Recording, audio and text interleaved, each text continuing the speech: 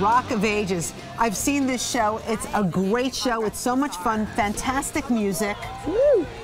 Great stuff. A lot of it from the 80s. Yeah. Nothing wrong with that at all. Nothing. No. And you know, they have some different people that come into the show and just kind of blow it up.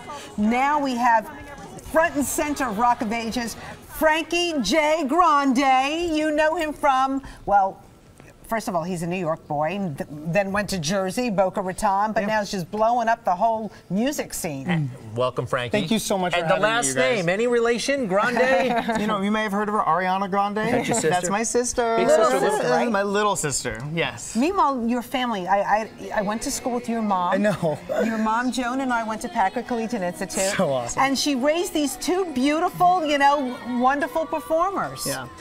I mean, it, she just basically led by example because she just always allowed us to follow our dreams, but at the same time, she was so such a hard worker. Like she she does so many things. She has three companies that she owns, runs, and operates, and it kind of inspired us to just try and achieve everything and do everything with 110% commitment. there you are. We think with your sister singing Yeah, on stage somewhere. That's my sister. Very Now, nice. where does the voice come from? Who's got the voice in the family? Well, you know, um, I was the one that first started musical theater training in college, and she was very young when she started singing. I think it was just kind of like my mom gave us permission to sing in the house because she always sang and danced around the house. Never professionally, but she loved it, so we just started doing it, and she encouraged it. and it seems like the two of you, you and Ariana, really get along well So well. together. She's my best friend.